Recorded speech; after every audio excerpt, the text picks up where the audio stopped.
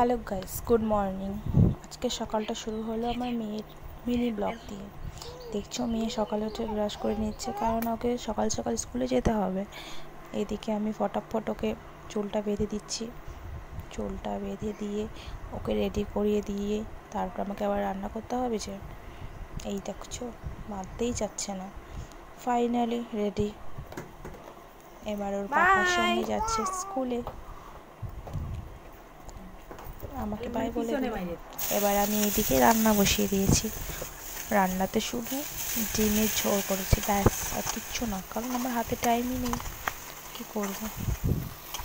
আমাকে বারোটার মধ্যে যে মেয়েকে আনতে যেতে হবে তারপরে আমি ফটাফট করে রান্নাটা করে নিয়ে তারপরে চা- চান করে পুজো করে নিজে খাই না খাই কোনো কথা নেই। নিজে সিধায় চলে যেতে হবে আনতে।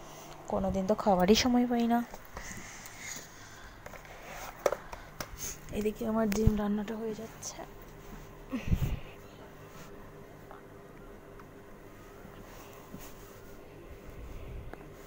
ডিমের ঝোল রেডি এবার আমি আনতে চলে যাচ্ছি মেয়েকে। দেখেছ রাস্তাতে কত রৌদ্র। এত রৌদ্র হয় না ওই টাইমটাতে কি বলব? জাস্ট ভাবা যায় না। তারপরে চলে গেলাম গেটের ভিতরে। দেখেছ এন্ট্রিটা এত সুন্দর। আমি এই জিনিসটা দেখানোর জন্যই ব্লগটা বানিয়েছিলাম। এত সুন্দর। দেখেছ ওই যে ওটা দেখছ ওটার ভিতরে ক্যান্টিন আছে। দেখেছ রাস্তার দুধারে এত সুন্দর করে গাছ লাগিয়েছে। ফাইনালি চলে আসলাম মেয়ের স্কুলে এটা হচ্ছে মেয়ের প্লে স্কুল জিয়া না? স্কুল থেকে চলে এসেছে। ক্যান্টিন থেকে এটা কি নিয়ে আসছো ক্যান্টিন থেকে? লাগবে তো লাগবে। গাইস ভিডিওটা ভালো লাগলে সাবস্ক্রাইব করে দিও। Thank you